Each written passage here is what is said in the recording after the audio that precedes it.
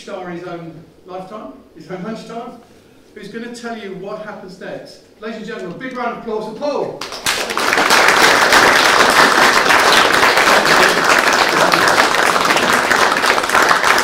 Thank you very much. Thank you for that uh, lovely welcome. And thank you, Tim, Tim Wonder, who's uh, very kindly uh, offered to host us here. Um, thank you for coming tonight. Um, and uh, just to echo Tim's uh, thoughts there, of course, our wishes are with the royal family on this occasion. We uh, had the dilemma do we go ahead? And we presumed that you would wish that we would. And if you decided we, you wouldn't, then presumably you wouldn't be here in the first place. So, the show will go on uh, in that uh, honour, respectfully speaking. Um, thank you, Tim, for setting the scene. Delight to be here as well, as Tim says, where it began really on the, on the Isle of Wight. Um, this is the 100th birthday of British broadcasting, and hopefully in the course of this show we'll see the, uh, the journey a little from radio as that one to one communication essentially into something more that we would recognize as broadcasting today. So I wanted to um, uh, present this uh, show, talk, event um, via two characters, two genuine real life radio pioneers. Um, did if, if I were to have a budget, I would have hired another actor, but I do not, as you can tell by the quality of your programs. Um, so instead, I will be portraying uh, both of these real life characters uh, this evening. There will be a very cunning uh, way of discovering who it is I'm playing at any one time. Uh, sometimes I'll be playing Arthur Burrows, other times Peter Eckersley. Arthur Burrows, Peter Eckersley. Have you cracked the code yet? Excellent work. Well done. Very good. You've made it. Uh, any questions? See me after. In fact, genuinely, if there are any questions, do save them up and ask afterwards. Sometimes at these shows, um, we, uh, I sort of throw the floor open to, to a Q&A for any uh, uh, questions left. Um, and, uh, but I've never done it before with, with Tim here. Uh, so the Q&A could last some time this evening. Uh, so at which point, it's maybe one of those shows that you just file out one by one slowly until it's just me and Tim left having a... Out by midnight, there we go. Uh, does anyone need to get a ferry? No, good news, there you go, we're fine. Fair enough. Um, and, uh, and indeed, we are also here um, uh, tomorrow doing a show which is sold out. Sold out. A few tickets left. Because you actually turned up, we thought we'd, X, very good of you. So tomorrow is stand-up comedy, tonight is stand-up history. Um, but if you have come here for, has anyone come here for comedy? Two of you, great. Okay, well, I'm sorry. Uh, you can stay on the floor till tomorrow night. I know there are at least two jokes in the show, so uh, all that to look forward to. Um, but let's journey back then uh, to the Great War to begin with, um, and Arthur Burrows uh, for the first broadcast.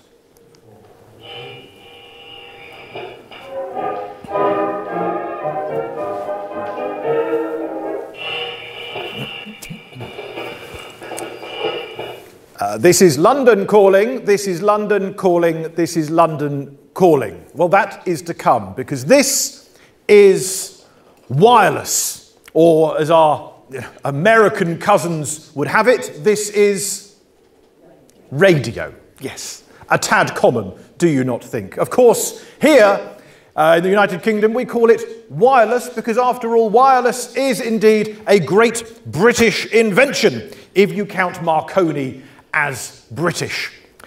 And why wouldn't you, of course? Granted, he is Italian by birth, but did the Italian government have any interest in his creation of development of wireless technology? No, they did not. The young Marconi attempted to sell his idea to the Italian Navy, but they had none of it. As a teenager, Marconi was the first ever teenager to have radio in his bedroom uh, when he effectively rang a bell across the room. But it was when he came to London to seek his fortune that really Marconi the man was born.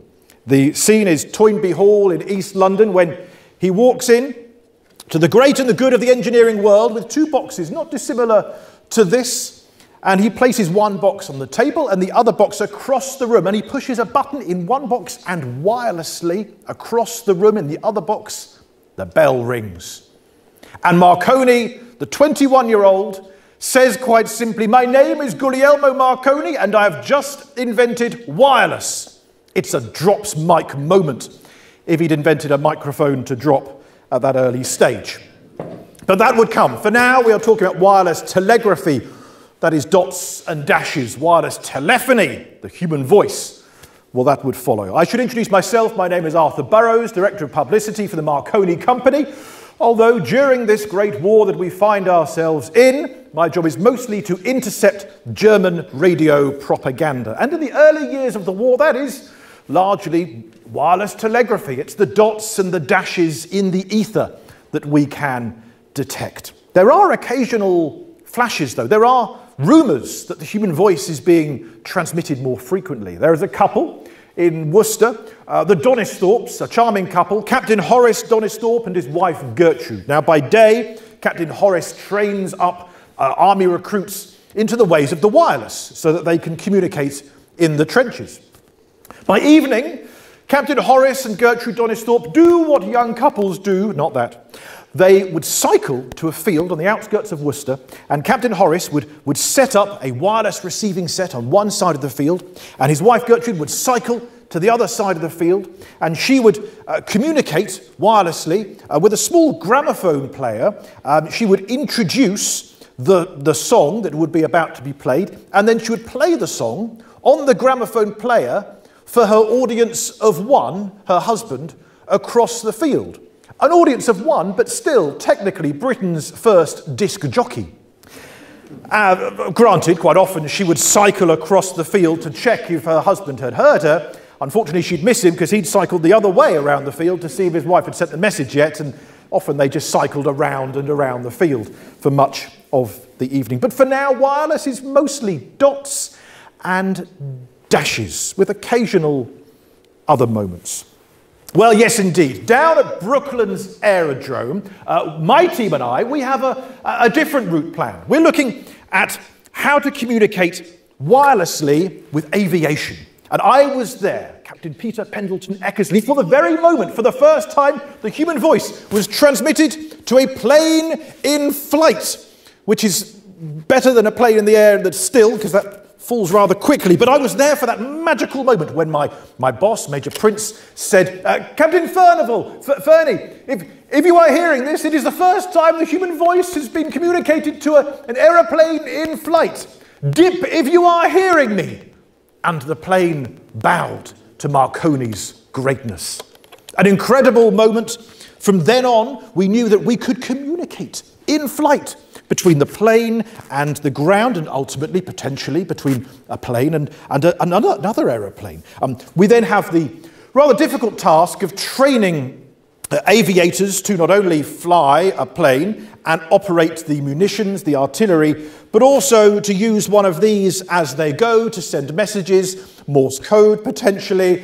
Uh, it is difficult, but one in ten of the pilots don't make it home, but nine out of 10 do. So that's, that's not bad, unless, of course, they do 10 flights, in which case that's not particularly good odds. But you understand the point. In war, these things happen and technology moves on. Well, we move on indeed, and towards the end of the war, I am starting to pick up, as I'm intercepting that German wireless propaganda, I'm starting to hear more of the human voice. Just a few more words are coming through amid the dots and the dashes. Not many words, just a few, but they are German words, so they're a lot longer. Ah, or my name's not Johann Gambleputty von Ausven, Splendid, Schlitterkrasken, von Freitag, Dingle, Dangle, Dungle, Dungle, Burstein, von Nackerthrasher, Applebanger, Horowitz, Grande, Nice, Teichslentig, Grande, Notti, Speltiger, Grande, Grimmelmeer, Speltewasser, Köstel, Kimberleisen, Bahnwerke, Güten, Abend, Schönenberg, Berger, Nörden, Schönendanke, Karlsfleisch, Mittelrauke von Hauptkopf of Ulm and his wife, Catherine Gammelputty, did else when Splendid Schnitter But let's not go there entirely as Monty Python's Flying Circus will write some 50 years hence from now. But let's not get ahead of ourselves, shall we? No, as the war concludes, the human voice is coming through the ether a little more. And those who are left, those who, who mourn, they come back and they have kept their, their wireless sets from the war and they wonder what to do with them. And I had an idea. It's 1919 when I, I write my idea down for my employer, Mr. Marconi, and I suggest to him in a memo uh, there appears to be no serious reason why, before we are many years older, politicians speaking, say, in Parliament, should not be heard simultaneously by wireless in the reporting room of every newspaper office in the United Kingdom. Just imagine wireless and government, sure to be the best of friends for all time, I am certain. The field of wireless telephone is by no means restricted, of course, to newspaper work. Uh, the same idea may be extended to make possible the correct reproduction uh, in all private residences of Albert Hall and Queen's Hall concerts. You know, music in the domestic home. Uh, there would be no technical difficulty in the way of an enterprising advertisement agency arranging for the interval of the concert to be filled with audible advertisements, and this will help pay for it, you see. Uh, pathetic or forcible appeals on behalf of somebody's soap or tomato ketchup. So, so, Mr. Marconi, what do you think to this? And he essentially sits there in a chair with money either side and says, I'm out. But it was a nice idea while it lasted, using wireless radio to communicate not just one to one, but one to many, because what Marconi sees as a problem, is the flaw of wireless, that it can be overheard. There's no such thing as a private wireless communication. You send your message, and anyone on the right frequency can hear it. But I see this not as a flaw, but as an opportunity to send messages out there wider. Sure, surely in the Titanic, that's one of the earliest examples of essentially broadcast, sending one message to many, knowing that the right person has to, to pick it up. It's like the parable of the sower in the Bible. We scatter the seed, it's cast broadly, it's broadly cast. There may be a word in there that we can create somehow, not knowing which of the seed will be picked up and which will be ignored. There's a hope in there, I'm sure, one day.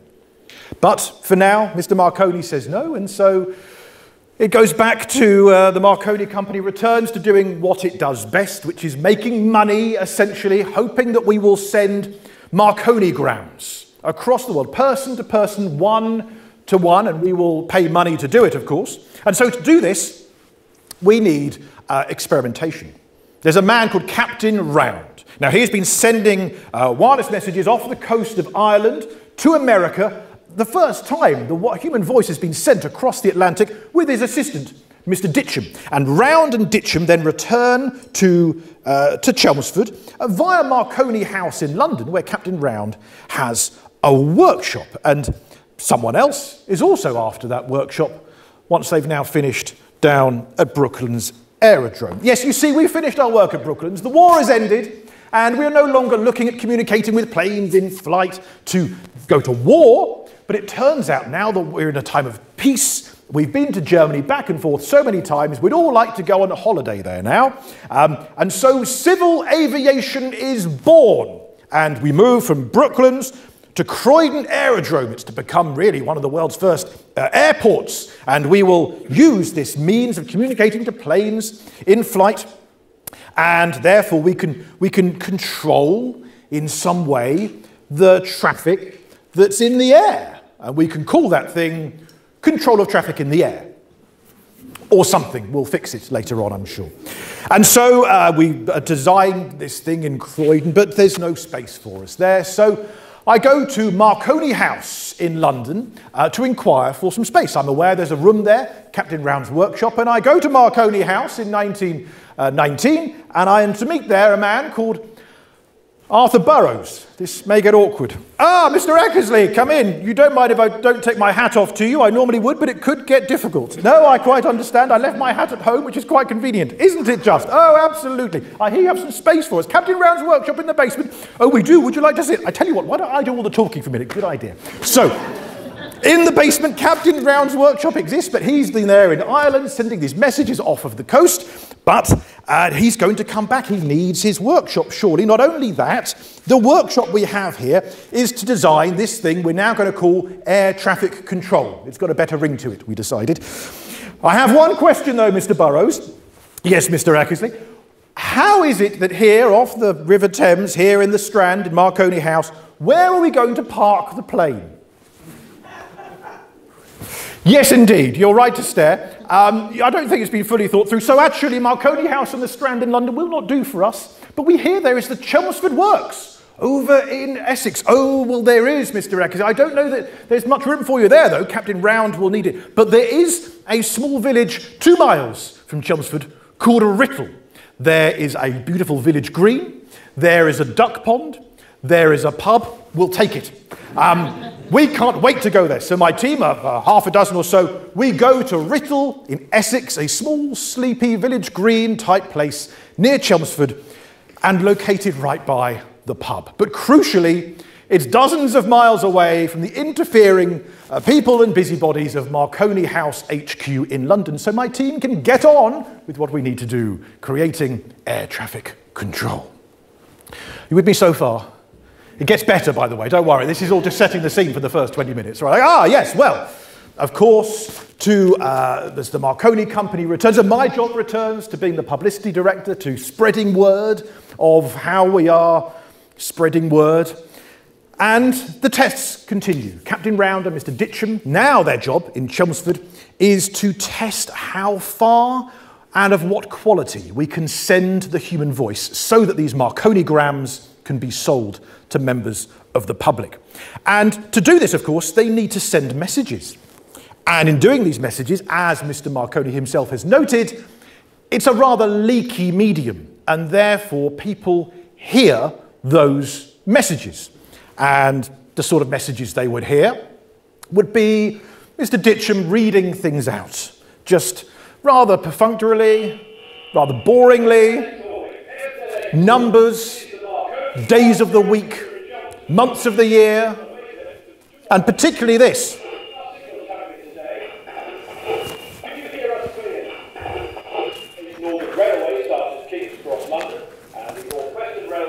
Railway timetables. That's what he's reading out day in, day out. Mr. Ditcham reading railway timetables.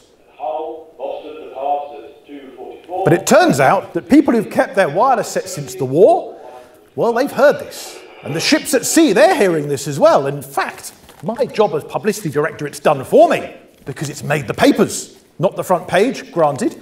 It's the letters to the editor. But here we go. Uh, one reader, uh, one radio ham, has written to the newspaper saying, It has been interesting to hear the test transmissions from MZX in Chelmsford, the, the station there.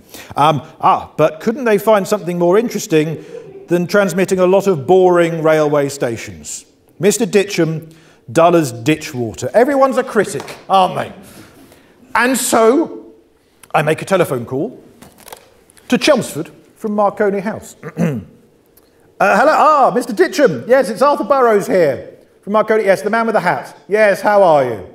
Marvellous. Yeah, no, we're loving, loving the railway timetables. Well, I know we can't help but hear them, you see. It's on all the, yeah, we just hear it on our radio sets. And, oh, you've seen the newspaper as well? He's seen the newspaper as well. Yes, I know it's, it's rather a, a tough review. You weren't expecting it, were you? No. Well, could you read, read something else maybe? Well, actually, yes, the newspaper. It's a good idea. Oh, you were thinking the back pages. I was thinking the front pages. Well, why don't you read the front pages first and then the back pages? Yes, news followed by sport. It may catch on. You never know. You could throw in the weather, by all means, feel free. But the new, yes, well, just pick up a newspaper and give it a read, would you? And he does. As 1920 begins, so does Britain's first programme title, Ditcham's News Service. This is MZX calling. This is MZX calling.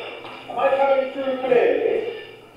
Lady Astor made her first speech in the House of Commons yesterday evening on the matter of the liquor laws. The first woman MP in Parliament stated her cause to broadcast. And more people listen. I think it's a hit.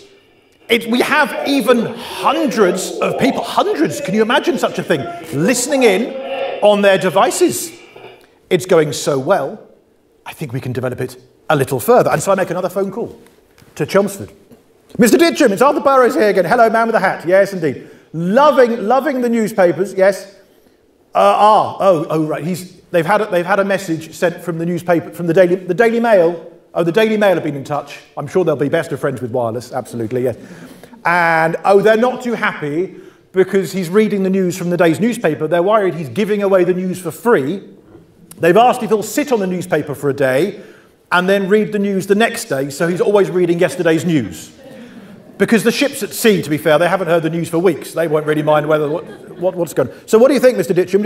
Anything else beyond the, music? Yeah, I was thinking some music would be nice. What, some gramophone records or, or some, some live music? Oh, wonderful. It turns out that some of the employees there, the Chelmsford Workstation, are actually quite musical on a weekend. You know, they play in a band, that sort of thing. So, what have you got? You've got an, an oboist, and, a woodwindist, which is like an oboist, but a bit more general, and uh, a pianist.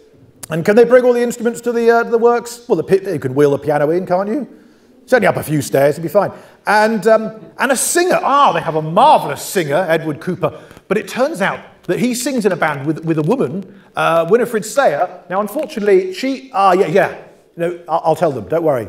It doesn't matter who they are. It doesn't matter. It's Arla White. Don't worry about it. Um, so uh, it turns out that Winifred Sayer, she, she sings with the band as well. They'll have to maybe work on fine tuning the microphone to see if it can pick up a woman's voice, but I'm sure that's doable in time.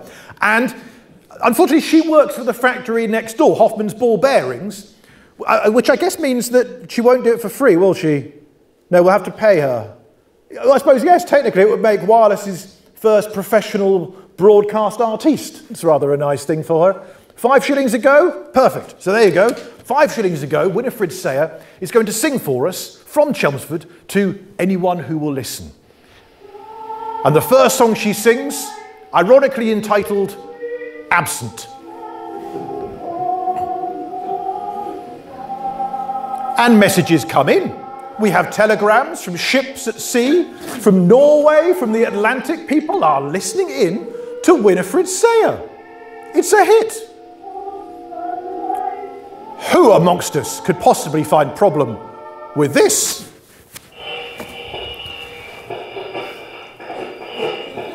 This is all very well, but we've got air traffic to control up there or to design at least, and we'll ultimately control it once we've designed it, but we can't even design it because the one plane that we've got parked on the green, we can't communicate with because all we can hear is blimmin' warbling. Two miles away it might be, but it might as well be in the next room as far as we're concerned. This wonderful Winifred Sayer is all very well and marvellous, but no, we are not particular fans here in Writtle, but, but fair play, for now, she may continue. Ooh. Phone's ringing. So I put my hat on so you could tell who's speaking. It's Arthur Burrows speaking. Hello. Oh, it's the Daily Mail. It's the Daily Mail. Hello, yes. They couldn't possibly have a problem either, could they? It's, also, I know the editor, Tom Clarke. We were war buddies. He was helping me in, intercept that German wireless propaganda with, um, you know, Johann Gamble Putter. We won't go there again. Hello, Tom. How are you? Tom, nice to speak to you. Yes, have you heard our messages? You've heard our little broadcast. Very nice.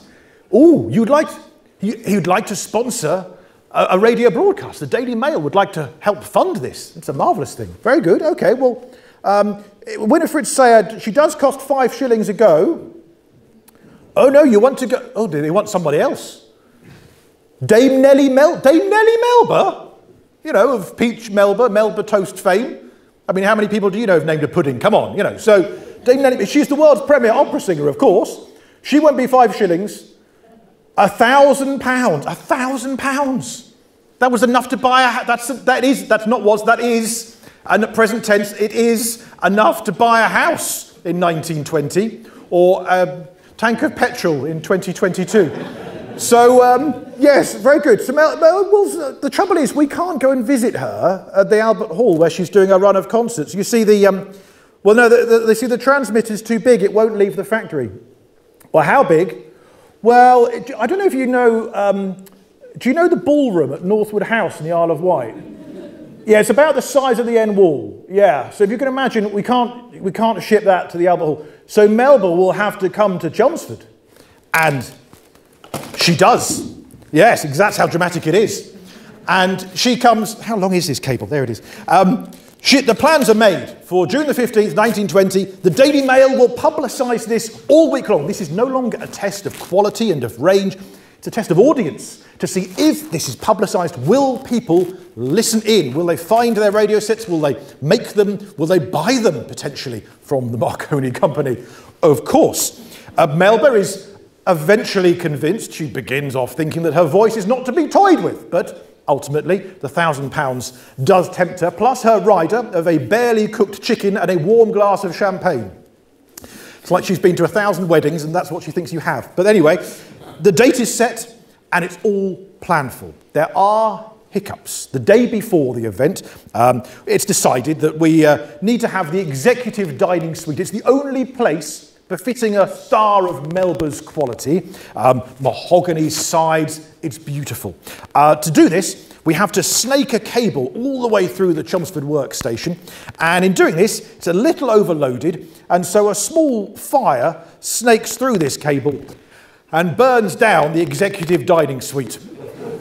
Luckily, Melba wasn't there at the time, otherwise, it would be Melba toast. Well done, everybody. Very good. That was, that was one of the two jokes. So just um, one more to go then. Okay, so all is fine. It does mean we have to relocate. So I, and I, by the way, of course, I, I'm in London throughout this. Um, I come along and I realise that, I, that Melba essentially needs someone uh, to accompany her, to escort her. So on the train, I should be her official escort, director of publicity for the Marconi Company. Secretly, all along, I've been dying to get along to Chelmsford. In fact, on one occasion, for one of the broadcasts, you could hear the woodwindist, the oboist, the pianist, the singer, and in the background, yes, Arthur Burrows on recorder because I just couldn't wait to be there. I had to be part of this. Mr. Ditcham, though, he has always been the announcer, and so I will be the escort for, or the escort, depending on how you like to pronounce things, for Dame Nellie Melba on the train. And we finally arrive at Chelmsford Station. The Rolls Royce is waiting for her. Word reaches me that the new room that they found, the packing shed, is not ready yet. For a star of Melba's quality, uh, the executive dining suite no longer available, bit burned. Um, the packing shed needs a few rugs and curtains to make it look, look nice, like the Albert Hall. And so someone has gone down to make this all nice and move all the kit. So we need to buy ourselves a little bit of time. So I give Melba a tour of the Chelmsford Works. I point out the two 450 foot masts that tower over Chelmsford. And I say, Dame Nellie Melba, very shortly your voice will be sent from the top of those masts all across Europe. And she says, Young man, if you think I'm going to climb all the way up there, I still don't quite know if she was joking. So I bring her down and I walk her to the packing shed, which is now ready. Everyone is incredibly nervous. We can have no more fires. In fact, a photographer from the press fires a little flashbulb off, and one of the technicians thinks it's another fire, shuts everything down again. It's another five minutes before it starts up. And so, a little late after all, we finally begin the broadcast. Now, to make sure that there are no further problems and fires, um, Mr. Ditcham, who was to announce, decided he needs to be actually there with the transmitters in the hut next door to the packing shed. And, and therefore, he's unable to announce. And so it must fall to somebody else to do the announcement for the world's first proper broadcast, I like to think. And finally, my moment has come. Oh, yes. hello, hello. This is Arthur Burrows, the Director of Programs of the Marconi Company, uh, Publicity Director. We have very few programs at this stage. Dame Nellie Melba will sing for you now. She takes one look at this packing shed, kicks away the rugs, tears down the curtain, saying, I can't possibly sing on that. Now it looks like a packing shed once again. There is an audience of half a dozen. It's Melba's smallest audience she's ever played to. So it looks. But actually, it's the largest audience she's ever played to due to the thousands of people who are listening in at home and at sea. Uh, Dame Nellie Melba the prima donna will sing for you now in English and then Italian and then in French. Dame Nellie Melba, will you sing?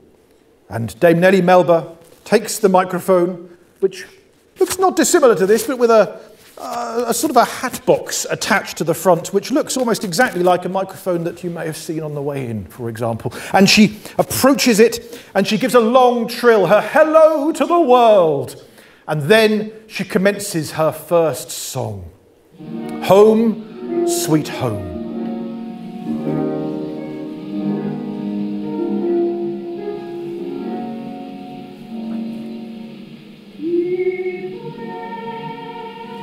And I'm aghast It's incredible. I'm sitting there with the world's premier singer in front of me, being broadcast to who knows how many people. Unbeknownst to me at the time, her assistant, who's listening in in Blackfriars in London, next to Tom Clarke, the Daily Mail editor, is disbelieving of all this until she hears her employer's voice. And unmistakably, this magic has occurred. It's Melba. And her assistant falls off the chair, nearly faints with surprise and alarm at hearing this unmistakable sound. Others are hearing it hundreds of miles away, across the sea, even to the Middle East. It will take weeks for us to receive the telegrams of appreciation, but they will come. And Melba then sings in Italian and in French, and she's just on her last song when radio silence. It cuts out completely. There in the packing shed room, we have no idea. She carries on singing. We sit there enjoying it. But pacing around outside in the courtyard, Captain Round, with his headphones clasped to his ears, he knows what's going on. And if he needs any proof what's going on, straight away Mr. Ditcham emerges from the transmitter hut, covered in black soot and has no eyebrows now, saying, A valve has blown, as if Captain Round needed telling that. All he says is simply, How long do you need to fix it? Ditcham says, one minute, two minutes maximum. And he does. He rushes back in, burnt sausage fingers, and he fixes the valve. The concert can continue. There is that brief intermission, though, where those listening do not hear anything. The problem is, now it's all fixed. Melba has finished. We can't possibly tell her that it's not been going out to anyone for the last two minutes. And Captain Round has a dilemma then. How do you get the world's most famous singer to keep on singing. It turns out incredibly easily. You just say encore. And he says quite simply, Madame Melba, the world is calling for more, are they? She says, and she does another five songs for him, far more than the contract stipulated, but she's carried away now. She cannot help herself. And she concludes with the national anthem.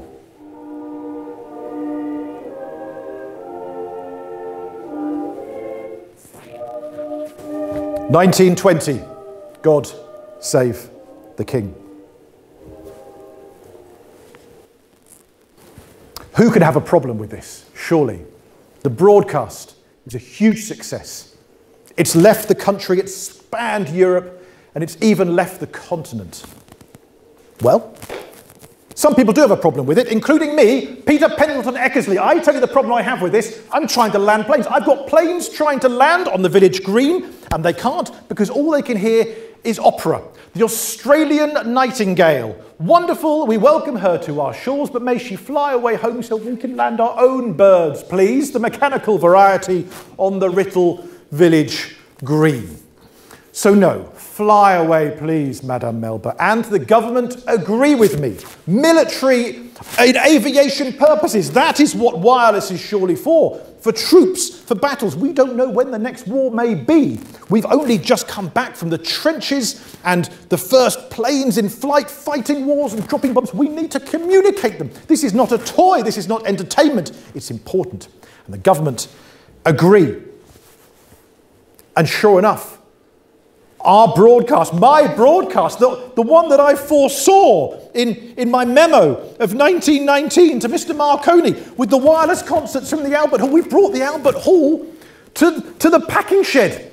And people have listened in their thousands and they loved it. But no, the government say it's not serious, it's not proper wireless communication. It must stop. And the experimental broadcasts that's it. We have one or two more broadcasts, Lauritz, Melchior, Clara Butt. They do a few pieces, but that's it. That summer of 1920, that's it. It's over. The radio experiment is done with. And I, as publicity director of Marconi Company, have to find a new use for wireless. I, am literally at sea across the Atlantic Ocean on a press ship full of journalists, and I'm trying to sell them wireless radio as a use for communicating press room to press room, to send news fast across the world. And I'd nearly have them convinced, except that I'm there for 15 minutes yelling into one of these, trying to communicate with Poldhu in Cornwall to gather information for the world's first ever ship's newspaper. I'm going to gather the news and then print it at sea and hand it around to show the press that this is how you can receive news now. But instead, I'm shouting into the mouthpiece, Hello, Poldhu, hello, Cornwall. This is Burrows. Are you receiving me? And I hear nothing back. For 5, 10, 15 minutes, the room full of press is staring. Can you imagine a room full of about 50 people just staring at you? Yes, just like that. Well done. It's as if you were there. After 15 minutes, a voice does come through. We're off the Canadian coast from thousands of miles away. Not Cornwall, but Chelmsford. The familiar voice of Captain Round.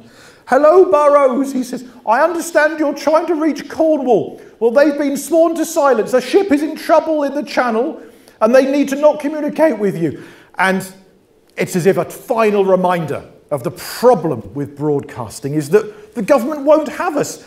Planes need to land and ships are in trouble and need to dock and need to communicate. And, and that's it. And in fact, the Chelmsford Works, they stopped their broadcast completely. Captain Round moves on. And, and I'm there at sea on this press ship trying to find a use for this technology. In fact, I brought some gramophone records with me.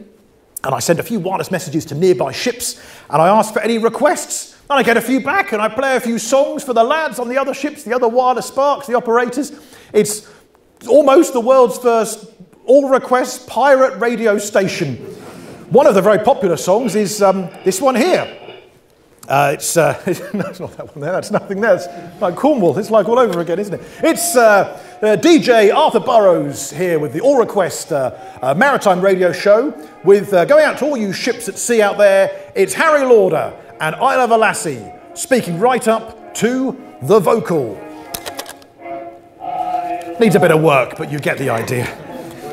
Close, close, it's not bad, it's, it's not bad at all, but there you go. And we dock in Canada, 1920 comes to an end, and there are no more broadcasts.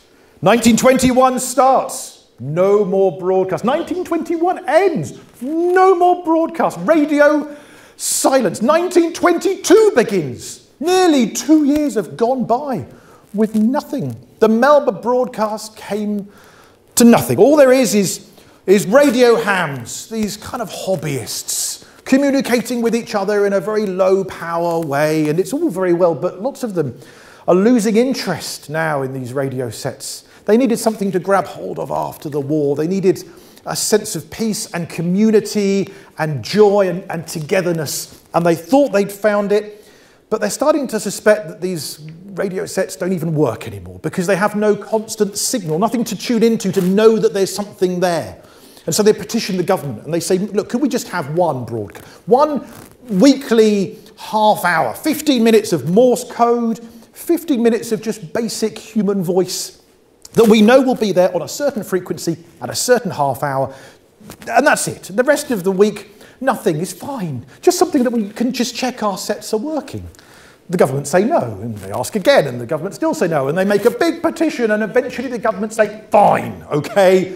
The Postmaster General in the Cabinet says, just to leave us alone, you can have one half hour on a Tuesday between 7 and 7.30 15 minutes of Morse, 15 minutes of human speech.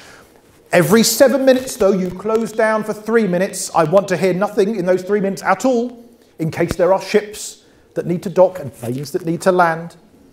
We must look out for legitimate purposes, so he says.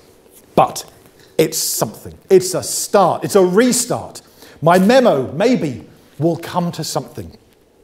Regular broadcasting can begin, and the Marconi Company are the ones to do it. And the memo arrives, and surely I am the one to be able to do it. I've had the idea for it. I announced the Melba broadcast, and I'm so excited to see this message here to the Marconi Company that says Dear Mr. Eckersley, in addition to your designs work for the aircraft department, your team in Writtle are to set up a weekly broadcast for the purpose of calibrating wireless receiving sets. Oh, there are no extra funds for this, apparently. So it will have to be in your spare time on a Tuesday evening. We've set aside a pound a week, a pound a week for you in addition. Us, the big spenders. Please commence immediately on Tuesday next. The Postmaster General has allotted you the call sign of 2MT Writtle. Yours sincerely, Godfrey Isaacs, head of the Marconi Company. Lads, we've got a job to do as well as designing air traffic control for Croydon. We've now got to do this thing called broadcasting. There's no money in it, it's an enforced hobby. We'll all hate it, we'll generally resent it, and oh, it gets worse. P.S. To oversee it from Marconi House in London, Arthur Burrows will be your contact and send you artists and gramophone records. Marvellous gentlemen, it's worse than I thought. And yes, indeed, I will be all over this like a rash. They will not do broadcasting without me. If, they, if it has to be without me, I will make sure they do things properly. And so I start sending telegram after telegram to Mr. Eckersley. Dear Mr. Eckersley, Burrows here, I understand that you, you, you are to be setting up our first regular broadcast service. Delighted to hear. I feel that in addition, though, to the, uh, the vocal tests and the Morse code, it would be wise to continue the musical programme that we attempted two years previously under Madame Melba, which you may recall I announced. Um, uh, so I'm sending um, by train a selection of gramophone records for you to play that I've carefully selected the higher side of culture. I'm also sending a gramophone player as well. Um, now I've made a deal with the Cliftophone Gramophone Player Company. Um, essentially, if your team mentions Cliftophone in your Tuesday broadcast at least three times, they'll lease us the player for free. Okay? Now, I know that'll be no mean feat because every seven minutes you've got to shut down for three. You've only got 50 minutes in total. But if you can mention Cliftophone basically every three minutes, you'll be fine. It will be on the train arriving in Chelmsford at 4:40 p.m. on Tuesday. Plenty of time for your evening broadcast. Good luck. Yours, Burrows. My dear Mr. Burrows, I appreciate your sentiments. Thank you for entrusting your precious medium of broadcasting to us little people here in Essex. See if we haven't got enough proper work to be doing.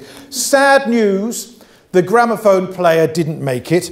Well, it made it off the train, um, but it didn't make it from Chelmsford Station to the Writtle Hut. You see, I put it in my motorcycle sidecar, and then Harry Kirk, my biggest engineer, he put himself on the gramophone player.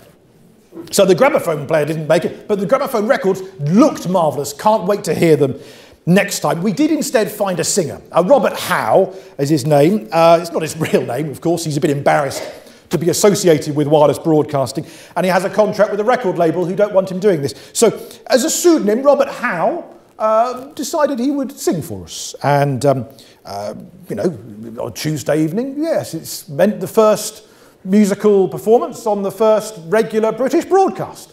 And that first song was, all together now, The Floral Dance. That's right, there you go. So, uh, yeah, it's. Uh,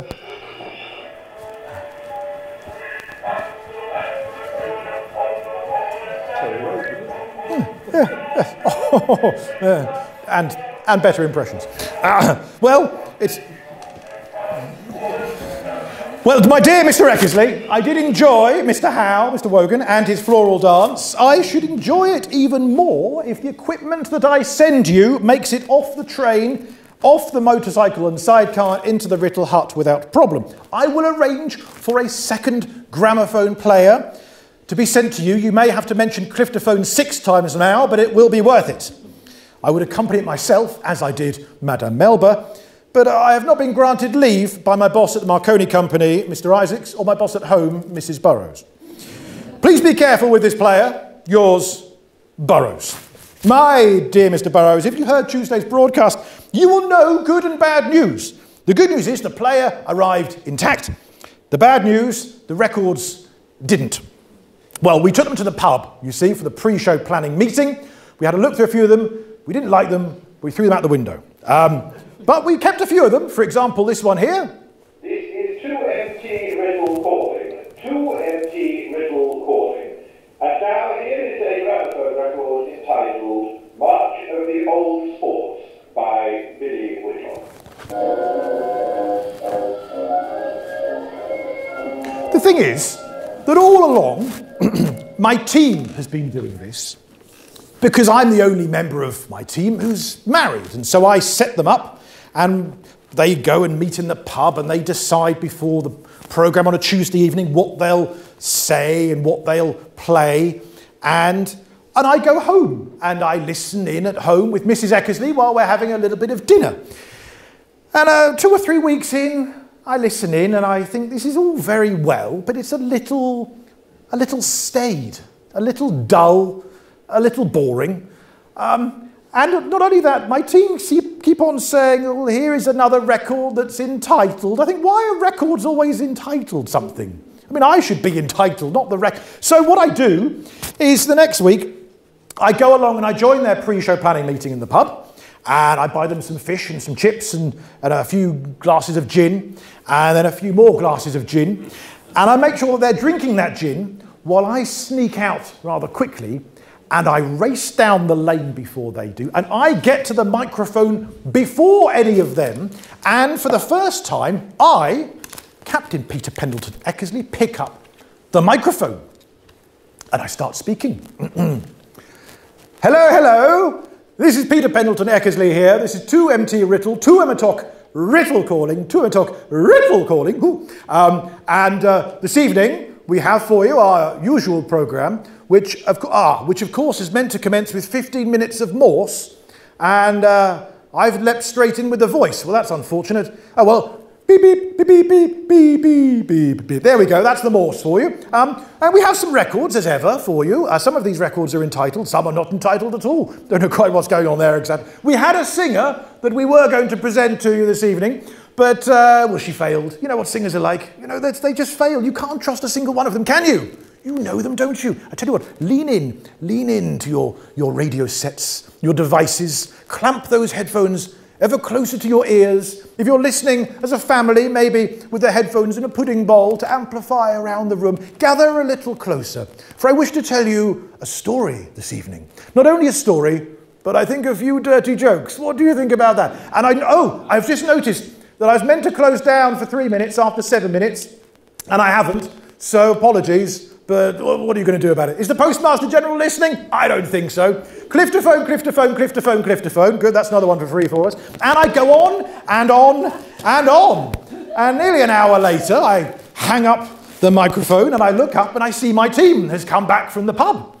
And they're looking at me. And I'm saying, oh, oh, did I say that? Oh, did I? Oh, dear. Well, that sounds terrible. Oh, dear. That's, they won't allow us on again next week, will they? Thinking maybe we can get back to some air traffic control design, but no, but no. The next day, we receive a letter, sure enough, from my dear Mr. Eckersley.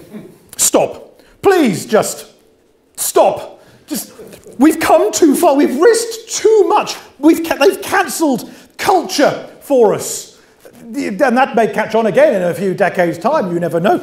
The, the Melba broadcast was it. For nearly two years, the government wanted no more. And we, we, we must adhere to the rules. You must close down after seven minutes. You must do the Morse. You must behave yourself. You must not tell those rude jokes anymore.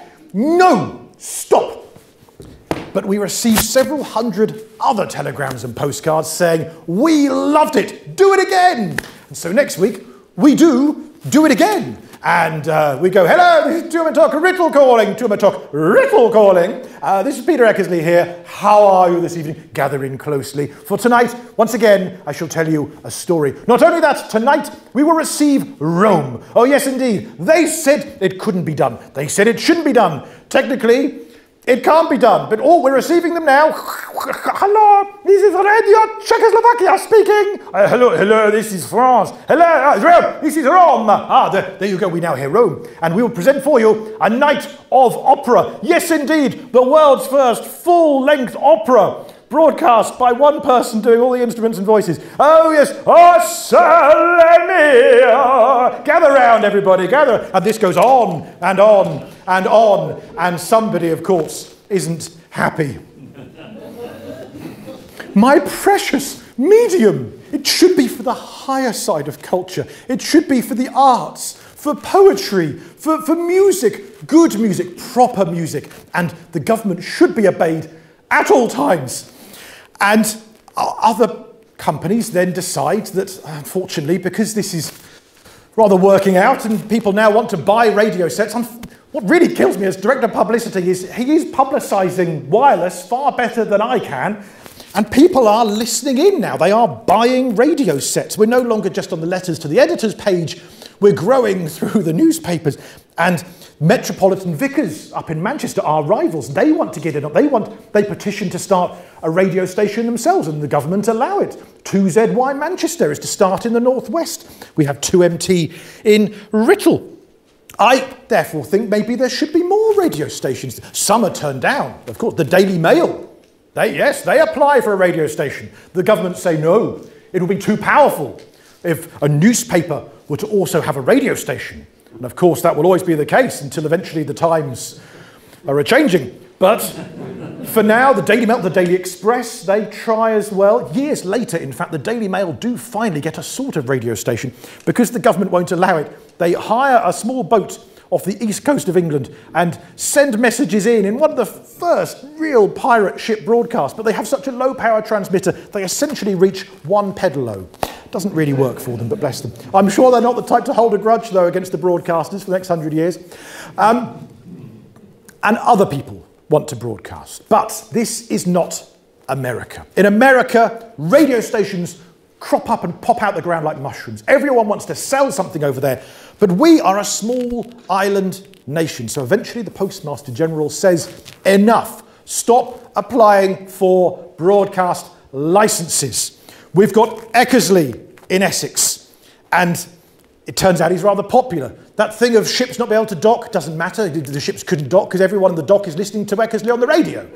If a plane wants to land, they'd rather listen to Eckersley than land, it turns out. So he's everywhere. We've got 2ZY in Manchester just starting up. And I wonder if there's room for one more broadcast station from the Marconi Company in London. Arthur Burrows, surely the person to be director of programmes. We apply and we are granted. And in May of 1922, London 2LO begins. 2LO London calling. All I need to do now is plan what my first broadcast for that will be. And to do that, I think I may need an interval, as I know do you. So uh, there are refreshments. I believe there's a bar. There are, there, are, there, are, there are toilets as well, somewhere. If not, there's a garden. And um, we also have a fine display of old, genuine uh, radio artifacts, radio sets, microphones. Um, Tim Wander has some marvellous books on radio history. Um, I have a couple of books, not on radio history, but on the history of Christmas, um, and a memoir as well. Um, it's nearly Christmas, go with it. Um, look, if it's 1920, it can also be nearly Christmas. Um, and we'll have an interval for 15 minutes. How about that? Does that sound all right to you? Ladies and gentlemen, Thank thank you. Thank you.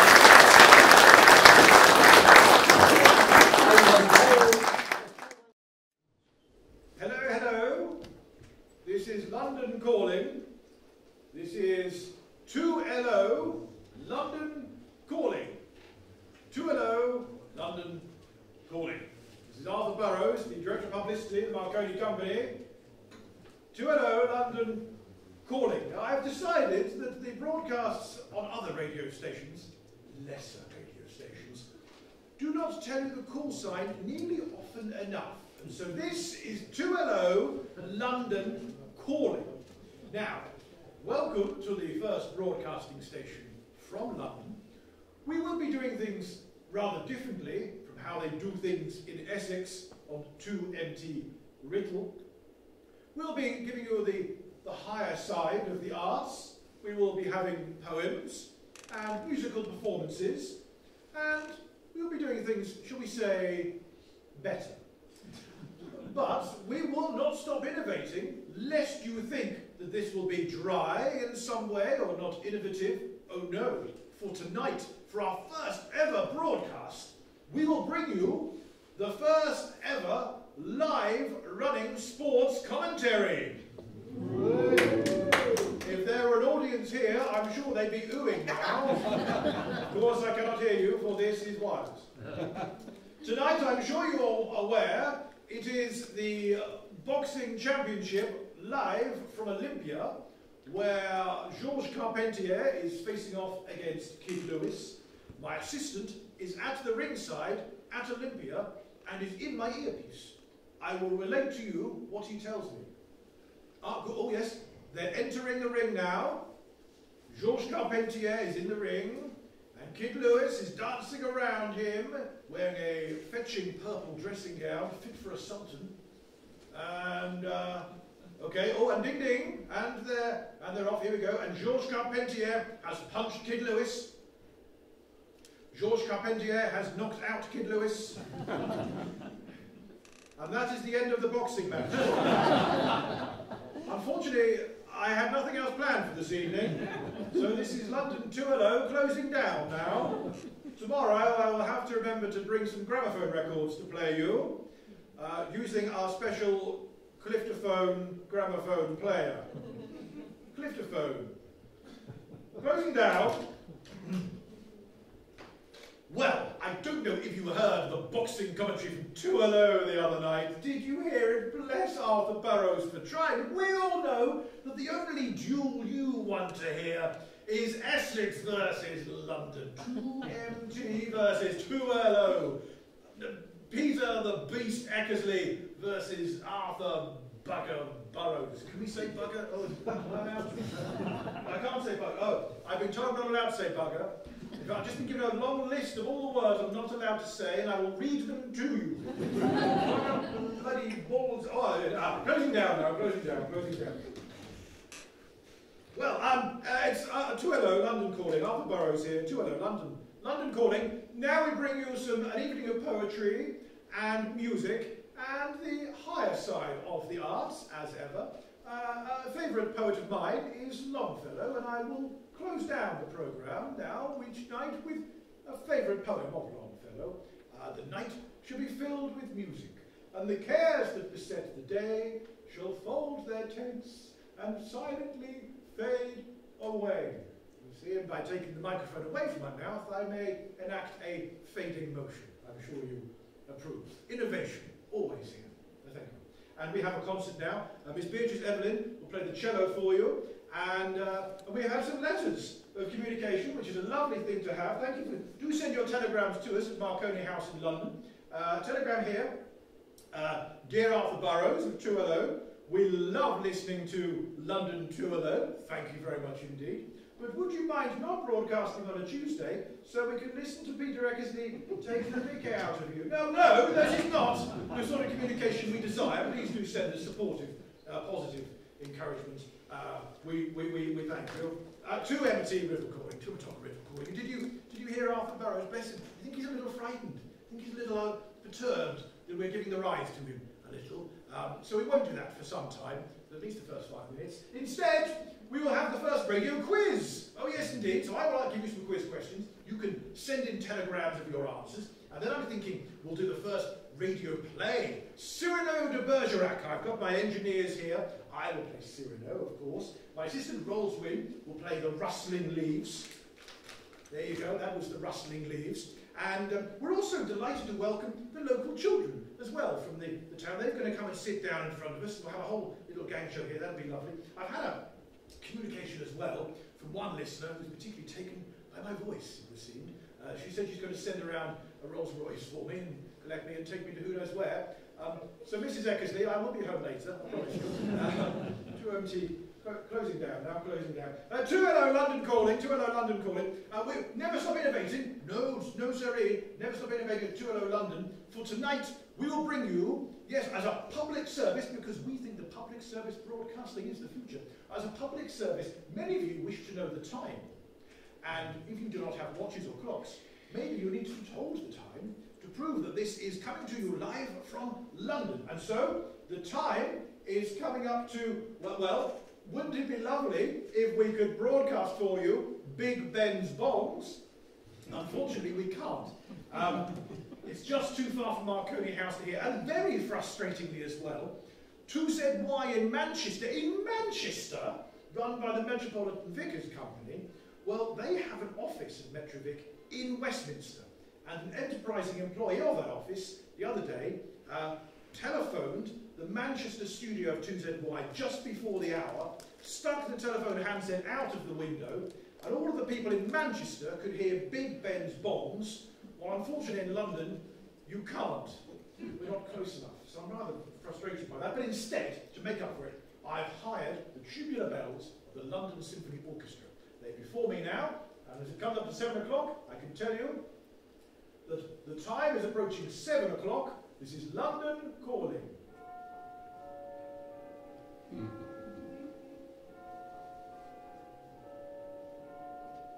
London calling. Yeah, very nice. Ah, well, I don't know if you heard the time signal the other day. This is two o'clock Writtle calling, of course, Essex Hello. Um, Peter Eckersley. Um, did you hear in London? They were doing the time signal, bless them, attempting to imitate Big Ben's bombs. Well, we can imitate the imitation. Oh, yes, I've spent all day driving around every scrap metal dealership I can find in the Chelmsford area, and I've collected all the pots and pans and broken glass and bits of old bicycles in front of me, and I've got a couple of sticks, and the time has gone up to 6.56 and a half precisely, and so it's time for this. Few broken wine bottles, oh, covered in alcohol, but same as it ever was, eh? You know what it's like around here. And this goes on all summer long. We broadcast, and Peter Eckersley takes the mickey out of us, and we broadcast again, and it continues and continues. He forgets completely that this is meant to be a serious medium, that we are experimenting here, and we are paving the way for the future. Because, yes, there are other people applying to broadcast. The Postmaster General says there is no more room. We have Essex 2MT, we have London 2LO, we have Manchester 2ZY, and everybody else needs to stop. And so the Postmaster General says to the, the wireless manufacturers, Marconi's and Metrovick and Western Electric and General Electric and British Thomson Houston, he gathers them together and says, look, you all want to do this thing called broadcasting that we don't fully understand, but I'm not going to give licenses to all of you. I'm going to give just one or two broadcast licenses to one or two companies. And for a while, that's what they think they might do. Two companies, uh, one in the north and one in the south. Uh, an, an SBC, Southern Broadcasting Company, and then NBC, a Northern Broadcasting Company. But then there are all sorts of difficulties. Where does it stop? What's Birmingham? It's sort of in the middle. And who's going to get the patents? And eventually, several meetings in, Godfrey Isaacs, the Marconi Company boss, says, listen, we, the Marconi Company, we know best of all what we're doing. We will share the patents with all of you other wireless manufacturers. We'll work together. How about we'll have one boss of each company, we'll make a board of directors of, of one broadcasting company, and we, the Marconi Company, will build the other five radio stations that the government think we need to fill the country. So Cardiff and Bournemouth and, and Glasgow and Newcastle. Well, the Marconi Company are the ones to be trusted to build these stations, and we'll share what we know with you. And we'll call this uh, the Broadcasting.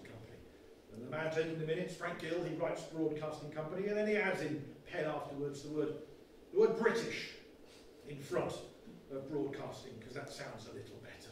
Two lines down on the same page, he's the first person to use the word pirates in association with uh, those broadcasting without a license, who shouldn't be, shouldn't be broadcasting. I can, I can think of one person who shouldn't be broadcasting, and he's not a pirate as such, but he's in a field, in a hut, in Essex.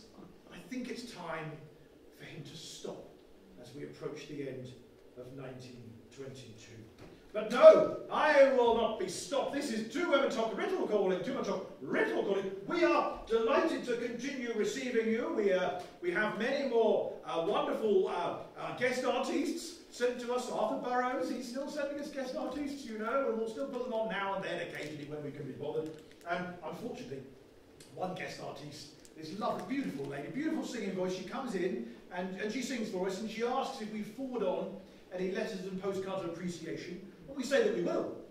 Unfortunately, we can't forward any on because every single postcard we receive says, Dear Mr. Eckersley, that was your best impersonation yet. You sounded just like a woman. And it was a woman, that's the thing. So we just say they got lost in the post, unfortunately. But no, we, we keep on broadcasting as we go into the autumn of 1922. We keep on we keep on putting the messages out there, and we, we get occasional letters like this one from Mrs. Trellis in North Wales.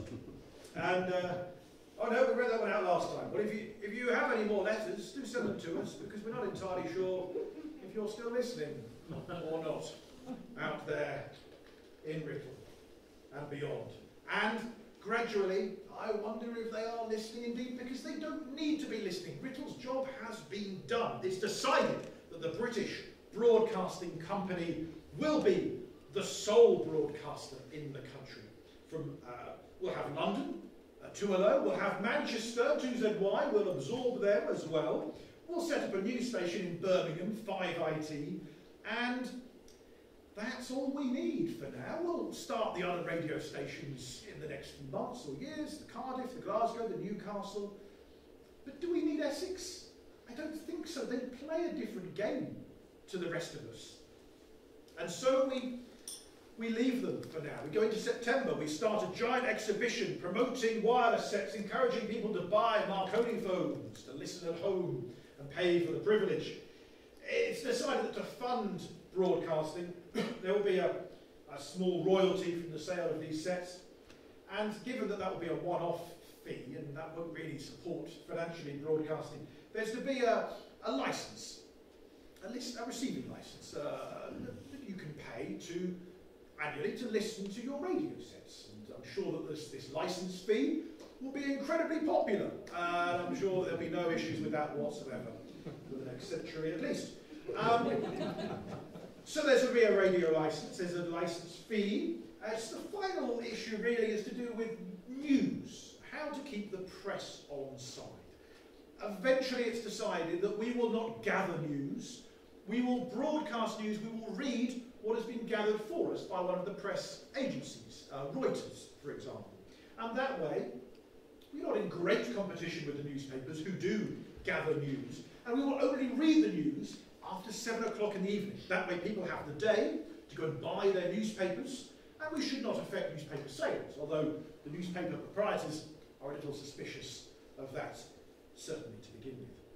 And that means that we are all set, pretty much. That November arrives, the licence fee is in place, the press have agreed regarding news, London, Birmingham and Manchester are to start broadcasting. And first of all, it is to be London calling.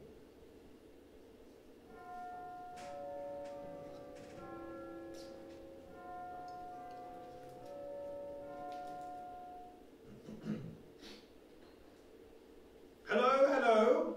This is 2LO calling. The British Broadcasting Company calling. This is 2LO, the London station of the British Broadcasting Company calling. This is Arthur Burrows, the Director of Programmes at 2LO.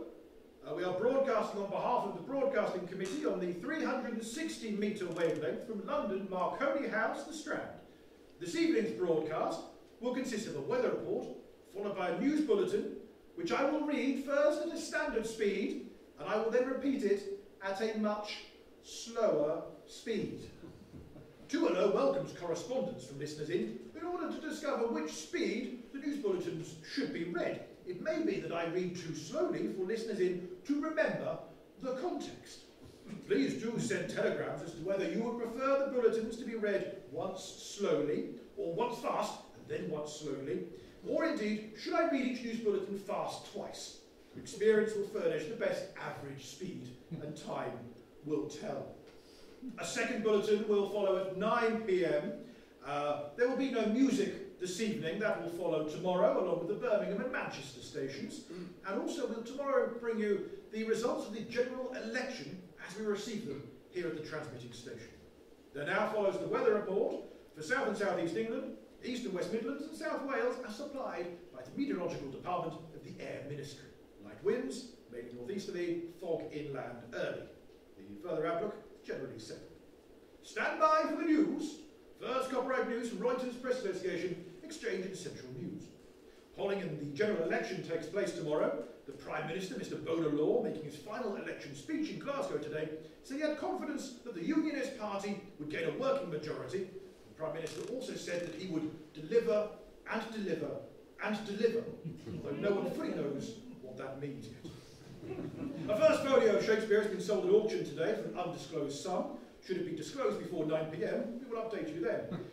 Today's billiards uh, tournaments are still in play. At Thurston's, the current champion, Mr. Newman, was completely out of form this afternoon, scoring only 11 points. Matches remain in play. And now the travel. Uh, omnibuses in western and northeastern London uh, have been led through the streets by conductors today due to the aforementioned thick fog enveloping London. There are uh, roadworks as well, all around the major A roads, due to the fact that they are still being built. that concludes the first bulletin. This is 2LO calling, the British Broadcasting Company, London Station calling. And now, for the sake of those who have missed the bulletin, or if you wish to hear it again, I will repeat it at a much slower speed. But first, as seven minutes have elapsed, I will now cease transmitting for three minutes to listen for government messages as per the terms of our licence. And it continues. We are underway. British broadcasting officially begun. In London and the next night in, in Birmingham and Manchester, and yet still in Essex, it continues. Oh yes, this is 2MT Writtle calling, 2 o'clock Writtle calling. Did you hear that BBC? Can't see it lasting that long, can you? No, me neither. I have been asked, will I be applying for a job? Well, as you may know, the applications co- been coming in because the job advertisements have been in the technical press. There is uh, there's to be four employees to begin with. They're looking for a, a general manager, uh, a director of programs, a secretary, and a chief engineer. Well, it's not for me to go joining the official British broadcasting, not when unofficial British broadcasting is so much fun. So, those dirty jokes once again. Um, but meanwhile, of course, I am a shoo-in for director of programs, uh, and so as well as being the voice of 2 in London, I apply and gain the job of director of programs. I join the secretary, uh, Mr. Anderson, and there is to be a, a chief engineer who has cold feet early on, so he only lasts for one day because he thinks this British broadcasting company won't last. As for the general manager, it's offered to a notable journalist who turns it down, again thinking broadcasting won't last. It's then offered to the Postmaster General, formerly, who lost his seat in the general election on the second night of the BBC. And we think that maybe he would like to head up this BBC. But he also turns it down, thinking again there's no money in it. So the third candidate is a Scot, a tall man with a scar on his cheek called Reith. The name is Reith. And uh, yes, I do feel qualified uh, to lead this British Broadcasting Company because I feel qualified to lead anything. And um, uh, why should you hire me? Well, well, Sir William Noble, taking this job interview, there is one very good reason why you should hire me, and that is that uh, I'm an Aberdonian, as are you, and my father knows your father. And when can I start? Monday. Thank you very much. Do I have any questions? I have one question. What is broadcasting? I do not have a radio set. And I spend the weekend explaining to Mr. Reith what broadcasting is. I draw many diagrams. I explain. I think he's quite surprised to hear that we'll need more than four roles at this British Broadcasting Company. So we are to go on a hiring spree with all of the, the roles that I suggest for him. We spend the weekend looking for premises. We decide that uh, it's a lovely property at Savoy Hill that will do the job, but it's not ready for a few months yet. So for now, we stay in a one-room BBC in Magnet House on loan to us from Western Electric. It's a short walk to Marconi House, where I still broadcast. I spend the day as director of programmes. I run through the streets to broadcast of an evening at Marconi House on the seventh floor. And not only that, on the seventh floor, it's decided that because we're actually operating all this time out of a small training cinema where people keep turning up, Marconi engineers keep thinking they're going to watch training films, while I'm broadcasting on the air, I need a light of some sort. Some kind of red light to say, broadcasting is happening here. Captain Brown designs one for me, and even puts some letters in front of it, so that that way everybody knows exactly what we're doing there, and we're sure that that might work quite fantastically. In fact, Captain Brown comes back and designs us a whole new microphone for official broadcasting. It's out with the old and it's in with the new, as Captain Brown shows us that actually we can broadcast further and wider and in greater clarity. Just like those original voice tests that he was doing with the railway timetables, we can increase the power quality of what we do. John Reith's first instruction to me is to hire a vicar for Christmas. And so we do. Christmas Eve, 1922, Reverend John Mayo gives the first religious broadcast on official British broadcasting. I have just come from my church in Whitechapel, a great church situated in the midst of all the noise and the turmoil and the dust and the slums and all that Whitechapel connotes. And it is my privilege, by the aid of the wizardry of Mr. Marconi in this wonderful house, to speak, as I understand, to many thousands of people. Surely no man has ever proclaimed the gospel from such an extraordinary pulpit as I am now occupying.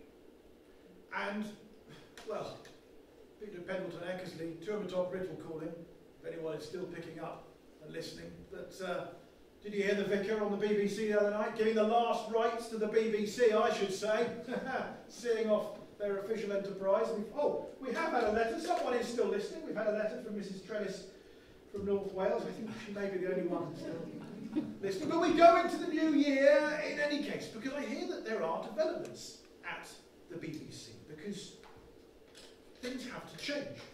And sure enough, as we go into the new year, once again with the vicar heralding the new year for us, we have a sign on our door at Magnet House saying, BBC, come in. Anyone can come in and pitch an idea for broadcasting. One person asks if we can broadcast to Mars to communicate with aliens. We say our transmitter barely reaches Croydon, but we'll give it a go. but someone else comes in with a much better idea. He's the chief engineer of the Royal Opera House in Covent Garden, just a stone's throw away, a quarter of a mile away from Marconi House. And he wonders, with opera season coming up, if maybe we can broadcast live from the Opera House. And I explained that we had this issue before with Madame Melba, that the transmitter is the size of the wall in the ballroom of Northwood House. But actually, we decided that we know what went wrong last time, and there's not to be another fire. The cable won't snake through a flame all the way through the quarter mile of the London streets. No, we can monitor the power going through it, and therefore we try it. And within two days, we have laid a cable from Marconi House through central London onto the stage of the Royal Opera House, a quarter of a mile away. And on Monday, the 8th of January, the first outside broadcast takes place from the opera, The Magic Flute, a tale by Mozart of someone who first is fearful of the community and mocks them, but ultimately joins them.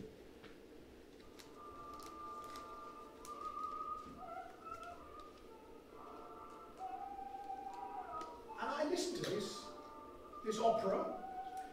I'm listening to it because I'm ready to mock it, probably by doing another mock opera on 2MT Writtle. But I'm struck by it, and it's not the singing, it's not the opera. I've heard opera before, I've I've imitated opera before. No, it's before the opera. I can hear the audience of this first outside broadcast. I can hear the rustle of papers. I can hear the tap of the conductor's baton. I can hear the tuning up of the orchestra.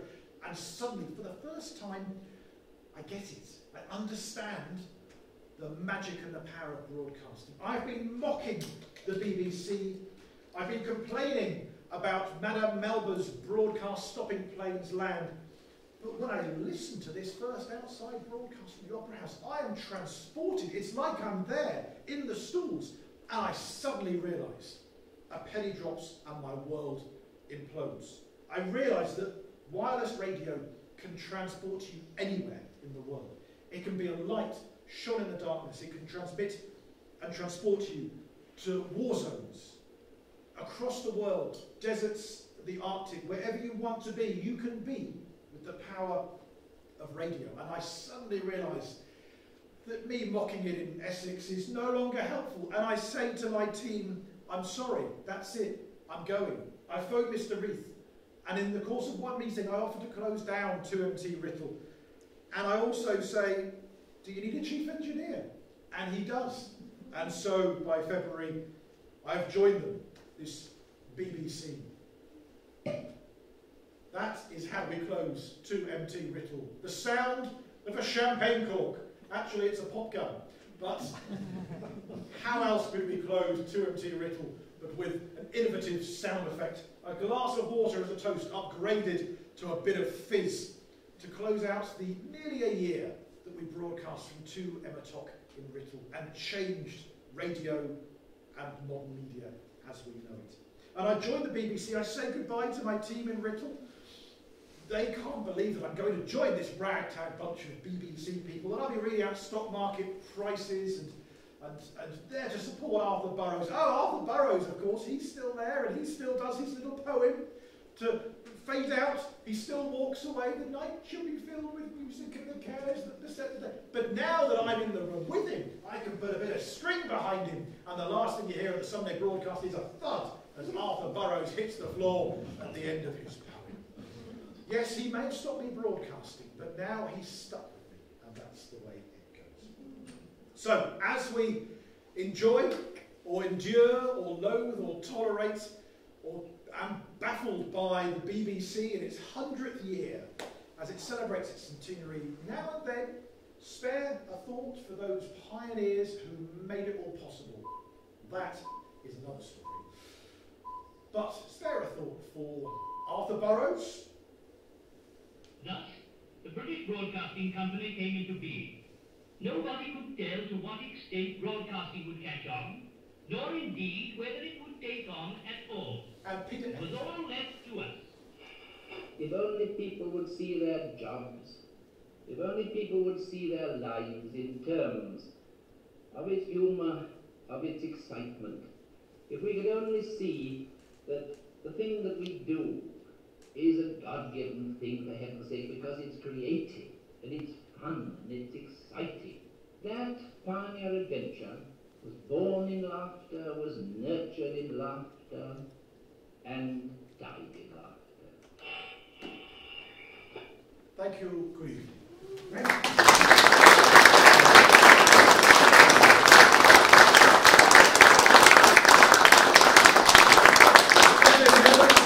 I'd to welcome Jim back to the stage here, not only as host for this evening, but um, basically um, a lot of this show is largely based on books, um, and any book you can find on uh, the Marconi and broadcasting story that is not written by Tim Wander, somewhere in the preface or the thanks, it says, and thanks to Tim Wander for helping with the research for this book. So, um, thank you, Tim. Cheers. Well, thank you, Paul. What a great evening. Thank you again, Paul.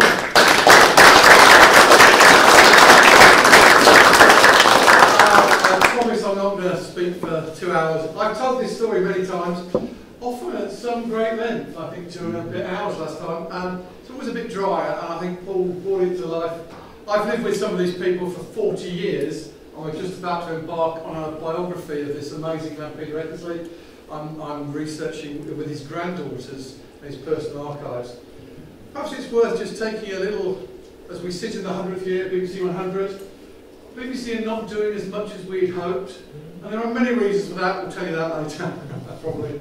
Um, there are some doors the BBC don't want to open about their past, is that true? I think it's fair That's to say. fair. I think they're nervous. I think they're nervous. They may find But suffice to say that with Eckersley and Burrows and Reith at the BBC, what happens next is mind-blowing. Bear in mind that when I opened the, the evening, this is only 20 years, 22 years later since the young Guglielmo Marconi stood up to Orley Hall and said, my name is Marconi, I've invented the radio. He comes to the Isle of Wight to put this experiment into practical use. By 1925, we have a nationwide broadcasting station where 98% of the population can hear radio on at least two frequencies. It is going to spawn a mass manufacturing industry. You'll see some radios outside there. Thousands of jobs. In fact, it's going to spawn a revolution in electronic and electrical mass manufacture, which will stand us in good stead because, of course, in 1939, we're going to go back to war. And by this time, radio and radar, and radar is born out of the birth of television, because that's what television was for 10 years, all developed initially by Peter Eckersley in 1928 at BBC, who first said, John Logie Baird's mechanical ideas won't work, and we need a guy called Isaac Shoenberg to develop an electronic system. It was going to show Mickey Mouse in the 1930s, but in fact it was actually developing radar. You've never heard of Shoenberg?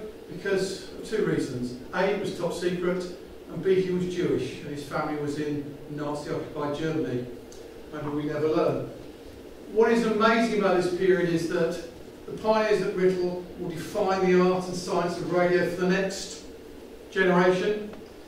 Eckersley, as beautifully recreated by my friend Paul, is in fact a member of the Goon shows, in 1922 none of them are alive yet. Hmm. It is the forerunner of Monty Python and everything in the comedy, which is more Paul World. Perhaps we're going to take some questions now, but Arthur Burrows falls out of love with the BBC. Yeah, I, one of the things I, I, I read, I went, uh, some of this research week, I went to the Written Archive Centre in Caversham, the BBC Written Archive Centre, you could see I'm there the, Thursday. he's there Thursday, there you go, the, the, the seat's waiting for you. But um, you could see the telegrams, the, uh, the memos there, that Burrows, although he's the first voice of the BBC and the first director of programmes and wrote that memo to Marconi and all those sorts of things, as soon as it started, he very quickly went off air and found other people in his place to be announcer. He was very keen to get off air um, and be in the back room there, really. But you also get that sense that from Arthur Lewis and a very important person we've not mentioned, Cecil, Sir Arthur Burrows and Cecil Lewis, the deputy director, Arthur Burrows number two, um, that that actually they liked it when the BBC was 10 people. And that as soon as Reith kept hiring and saying it needs 40 people, 50 people, that suddenly there was a sense that, oh, it's got a bit carried away. And they would not recognise the BBC as we know it today. But Arthur Burrows didn't last long, did he? It was 1925. 1925 he moves on, he moves on to start international broadcasting set frequencies. But our friend Peter Eckersley, PPE, he's going to stay at the BBC as the chief engineer. The day he joins, he knew he was the chief engineer because he was the only engineer in a little cupboard under the stairs. He will leave in 1929. When he leaves, that's a whole other story, he's built the BBC to now have an engineering department of over 730 people. There are 10 major, station, 10 major broadcast stations in the city, including Ireland, 10 relay stations, and the whole population can hear radio as on two or three channels, different frequencies for Scotland, different programmes that are now regionally organised. So indeed, by 1926, Eckersley starts a regional scheme, which we would still recognise today. He then does the same for Australia, America, tries it in America, it doesn't work. Eckersley also starts in 1927 the long wave broadcasting station because the BBC World Service wants to produce its voice across the world. Now bear in mind that this person, Eckersley, he has quite an interesting background. We won't do much in detail, but a, a life most lived. He's already a World War One fighter pilot, radio developer. He's been installing radio craft. He's responsible for the birth of civilization. You're all going to get to Heathrow and Gatwick this year. That comes from Eckersley. He will drive to MT Writtle and the BBC, uh, to Ed Writtle to give birth to the BBC. It wouldn't have happened without him. He then goes to the BBC and builds the British Broadcasting Station to what we know now. And his story is not yet over. He will leave the BBC in 1929 because he believes you should broadcast over cables. In 1931, he wrote a paper that says, Imagine I'm sat in a chair, I can look at a screen, there's no television screens, and in my arm piece, I've got buttons, and I can change between free programs. If I want to watch the football scores, I press a button. If I want to watch the tennis, I can press a button. If I want to watch the football from yesterday, I can press a button. That technology has not existed 50 years, old- 50 years, but Eckersley saw it coming. He's going to form a company called Rediffusion. The BBC will put him out of business.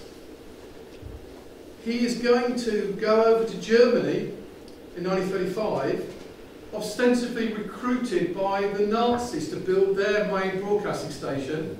We now know he's working for MI6. If this is not enough, he is now a spy on the edge of the Gestapo for two and a half years, reporting back what Joseph Goebbels is doing with 80 million receivers. He's going to take a nation to war with the power of radio. 30 years after Marconi came to the Isle of Wight, they didn't listen to Eckersley, and the world went to war. Eckersley gets out of Nazi Germany by the skin of his teeth. His handler was a guy called Maxwell Knight in MI6, or you know him as M. He shares an office with a guy called Ian Fleming. I wonder where that goes. One other piece of Eckersley is we lose Eckersley in World War II. The problem is his new wife is actually joining the Nazi Party. We now find him in 1942, and he's going to lead the black propaganda network transmitting all the propaganda back to Germany using radio skills he's learned over the years. But more importantly, as we go to war, as we go back to Europe, and you saw the invasion ships out in 1944, there's a thing called Operation Bodyguard, a massive program of deception to convince the Germans that we're not going to hit Normandy, we're going to hit Bagley. The chief engineer, Peter Pendleton Eckersley. A lot of. Mm, absolutely. I think it's all there. it? So, ladies and gentlemen, that, that brings you up to date with the birth of radio and BBC 100. One question I was asked, which was a very good question, gentleman over here, and, and Paul says, and we forget because we lived with it for many years, the call signs 2LO, 2MT, where did they come from? Why was it? Well, it's a, the short version is, at the birth of radio with the Morse code, the call signs the ships, because it was mainly ships, were three letters. The ship that left here in April 1912, its call sign was MGY, the Titanic. Morse code, 30, 40 words a minute, always MGY appears at the beginning and the end of the message, CQ, CQ, DE, MGY. As we get into broadcasting, there are so many radio amateurs who want their own licenses, they run out of three letters. Also internationally, stations in Paris want to use PAR for Paris. So they come to a convention very early on which says that we're going to have two as our first number and then two letters. Now those letters were actually randomly issued, but if you had a certain pull, like Mr Marconi, 2LO for 2 London, 2MT, 2 Marconi testing, um, which was better because their originally call sign was 2BO and that would never have worked. so it's like personalised number plates, I guess, isn't It's it? personalised number plate. By the time they get to Newcastle and Birmingham, they've run out of twos. So guess what? They use fives. Those call signs go through such that by the time I became a radio amateur in 1979, I'm actually G6 GUX. That's how anarchy I am. But they'd actually run out of sixes and three letters and had to put a G in front of it. Even then, they've used them all up now into an NW. But it's just really a personalised number plate that goes back. Um, some of them are random, some of them are special to the call signs, and indeed the two stations either side of 2MT were just per private people playing amateur radio. So before, because I know you all want to get home, any questions for, for the star of the show, Paul, or the Ararat standing in the corner? Yeah. I, I have one, and it might be slightly unfair. But the BBC, where do we go now? That's a good question. if we knew that. Yeah, I think it's um, it's it's a, well. I think part of that question is, of course, dependent on you know if we've got a new culture secretary as of a few hours ago, I guess, um, a day ago. Um, Nadine Dorries and uh, the cabinet there, they had a plan, and that may still happen. But I think certainly the headline of what she said, this is the last licence fee deal with the BBC. I think it probably will be. I think you know the next few years. Um, you know, been, they've said it for ages, but with the, the state of modern media, uh, they need to find a different way of, of, of operating and funding, I guess. And, um, and I, I work for the BBC as a sitcom writer and as a local radio presenter, and I, I'm freelance, so I've worked for them. I'm sort of I'm, I'm loyal in that I like working with and for them. I'm not the director general, so I don't have a sort of uh, uh, you know I, I'm not staff, put it that way. But I'd like to see it continue. I'd like to see it um, improve because the problem is it won't just stop. It won't be like there's no more BBC. It will just the lack of funding will make it weaker. And you can already see the news. We've got two news channels: the World World News and the News Channel. They're merging, which essentially means the domestic news won't be anymore. About February next year, we'll have World News, and you won't have the News Channel, which means people switch off. They go watch Sky News, ITN, whatever it might be. Um, CBBC, they're talking about taking off terrestrial TV, and it just it, it erodes it. So it needs it needs a, a fire rocket under it, I think. I think, it, uh, uh, and as a historian who does only a little bit of work for the BBC, the problem how you fund a British broadcasting company is it echoed through the years. It was a, it was, it, it drove Isaacs and, and Eckersley mad through the 1920s. I mean, the battle in 1925 to make the BBC independent of government. At that point, they were they were head to head with no no less a person than Winston Churchill, who wanted to make BBC a, the voice of the government.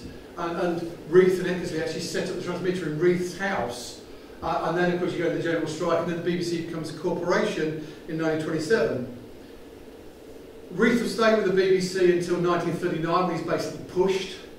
Um, was Reith's BBC the right thing at the time in the 1920s? Possibly because you couldn't have the chaos of that lovely long low hut filled with long low people in Writtle. It needed structure, but possibly too much structure from Reith. Inform, educate and entertain, or to quote the old song, two out of three isn't bad. As the BBC comes through, the problem I see now uh, um, is as you, the, the BBC failed to move with the times. You know, now the vast majority of our content is streamed, it's online, it's from the air. In fact, I know an awful lot of people of younger generations than me and even younger generations than my young friend on the right here who would never watch terrestrial TV.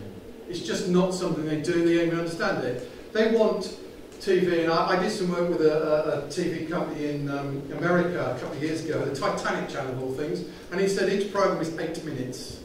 That's it. And you may notice that Channel 5 and Channel 4 now, they're documentaries. You actually time them, two minutes tell you what they're going to tell you, two minutes, then six minutes tell you, two minutes tell you, and then they go to advert break and tell you. So we've now broken down eight minutes because eight minutes is the tension span of most people under 35 now. So that's where broadcasting has gone. And you can't tell a story because people flip, and people flip between channels. People will move things. The BBC hasn't moved with that. Its local radio station, and respect to Paul being on I think Bristol have it, it's become hugely diversified, but can we, and, you know, at times, I mean, I did three counties radio for a little while, I wasn't convinced there was actually anybody listening. There is, I can tell you, I, I do the Sunday breakfast, 6 till 10, and 6 till 7, you, you get you get no you get no phone call. You get you get uh, the, the same two or three who just call in for a chat to the producer. They don't, they don't want to get on air. They just want to speak to someone. And but in a way, that's sort of I don't say that's what the BBC is there for, but it, for many people, it's it's a reliable kind of rock. Um, and I, there are lovely people working there. I think just like the Long Low of Long Low people, it's made up of lots of. teams. you see it in the Second World War when it had to leave London and go like Variety. I think went to Bristol and Drama went to uh, Birmingham and it spread out to hide away basically, you know. And you just get these little pockets of, of good teams working together. And when they're allowed to make stuff, it's brilliant. The trouble is their hands are kind of hog-tied at the minute because lots of management things, budget stuff. When people get to make stuff, I've, I've worked with great teams and then you just like, oh, and it's not going to get on air because of some ridiculous reason or whatever. So it's, it's, it's a tricky thing to fund, but I just think, um, yeah. Part, part of me hopes it does continue, but I think we're both convinced it can't continue in this current form. It's become too ponderous, too, some ways incestuous perhaps, uh, in some ways uh, perhaps a little bit, uh, what's the phrase, woke as well. I think the thing is, the, the other dilemma I think you have is, is the BBC there to have the best people, um, or do you let them go to commercial?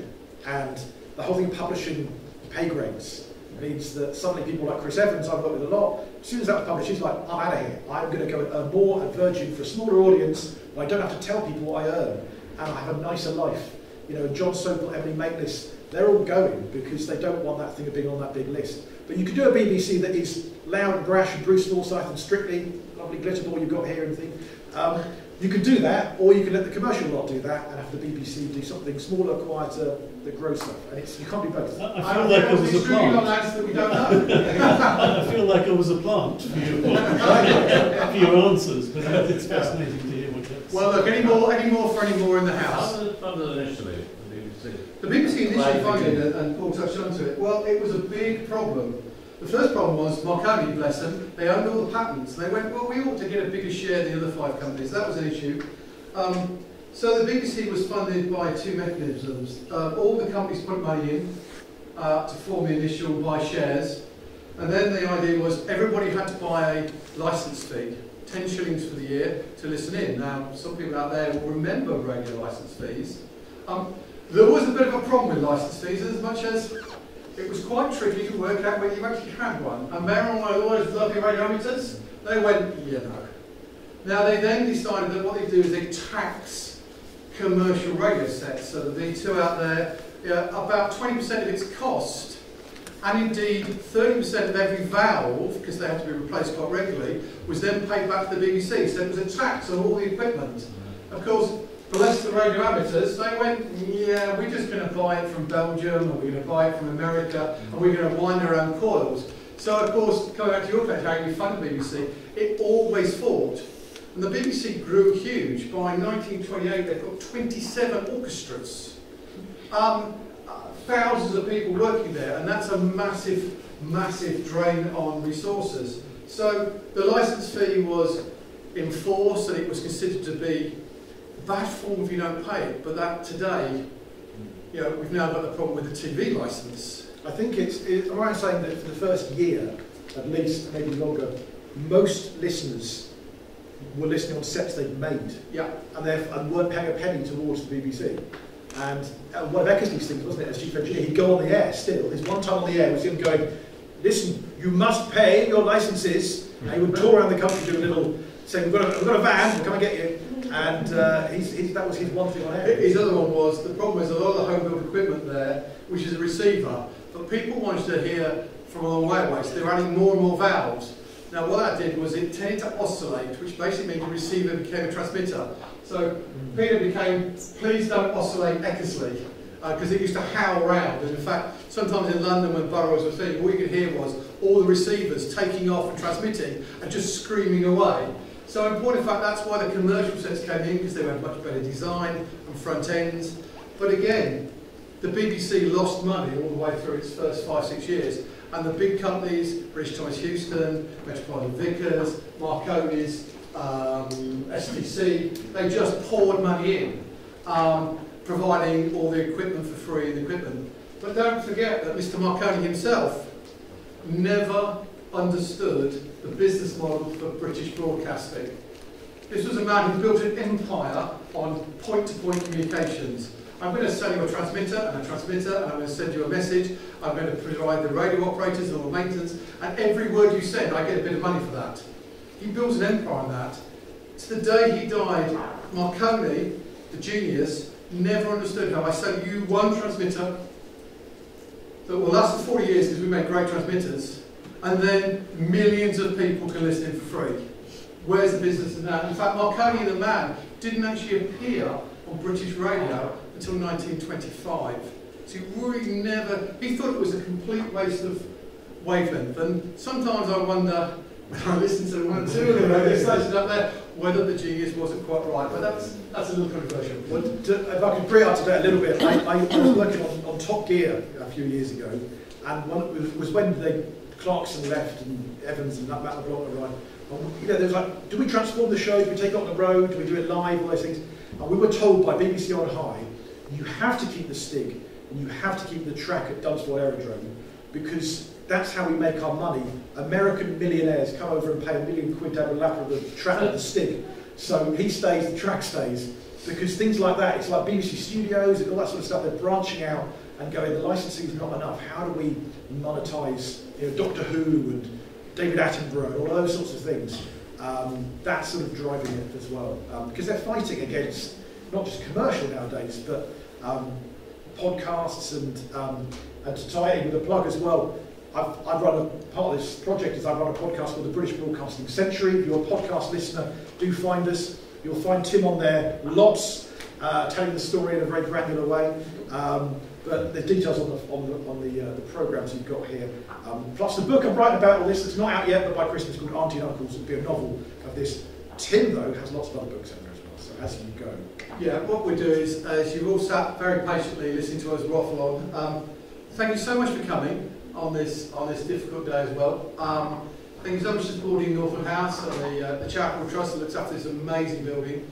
Um, 245 years, there have been so many different events in here, and this has just been one more. I think it's been successful. What I'd like to do is, first thing is, as you leave, if you'd like to buy one of Paul's most excellent books, one of my very erudite books, so we're saying we please to sign them. We always personal inscriptions, love and kisses. We'll always have Paris is one of my favourites, and that's just Paul. Um, but before we do that, before we head out, um, please have a very safe journey home.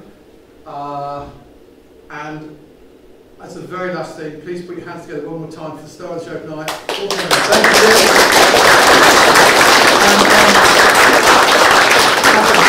And the very last thing, and thank you Tim as well, thank you Tim, thank you for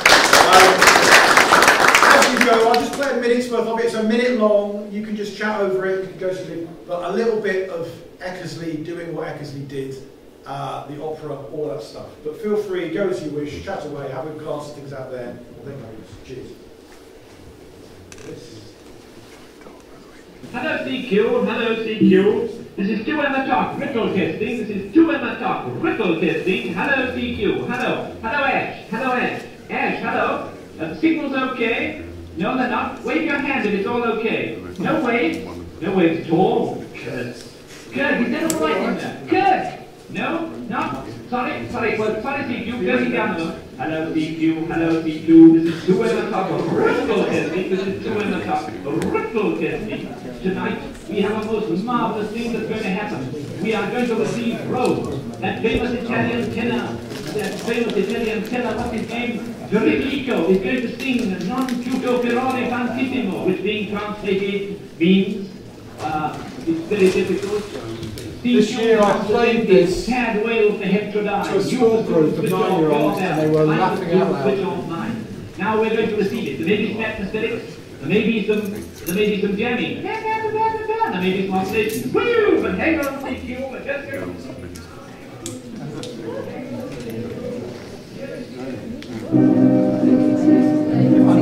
The original and the original piano still exists in Chelmsford where a museum curator. This year I took back, he reckons his two granddaughters for the first time in 100 years. They bagged the piano and they sang that opera and I had a small tear in my eye. Ladies and gentlemen, thank you so much for coming.